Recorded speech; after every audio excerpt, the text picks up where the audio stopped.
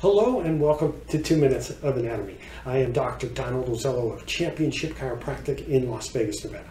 On today's Two Minutes of Anatomy, I'm going to speak about the suprascapular nerve. Now, you're going to hear me say the word supra a lot in this video, so please pay attention. The suprascapular nerve provides the motor innervation to the supraspinatus muscle and the infraspinatus muscle, and it provides the sensory innervation to the glenohumeral joint and the acromioclavicular joint.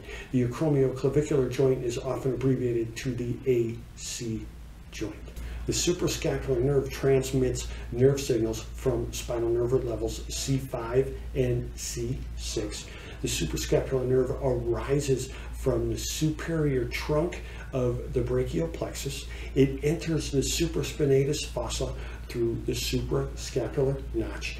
Inside the supraspinatus fossa, it has two branches, one to the supraspinatus muscle and one to the superior shoulder joint. From the supraspinatus fossa, it travels around the lateral margin of the scapular spine and it enters the infraspinatus fossa through the spinal glenohumeral notch.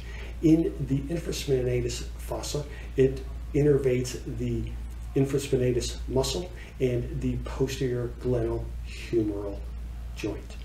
So again, the suprascapular arises from the superior trunk of the brachial plexus. It provides motor innervation to the supraspinatus muscle and the infraspinatus muscle, and it provides sensory innervation to the glenohumeral joint and the acromioclavicular joint.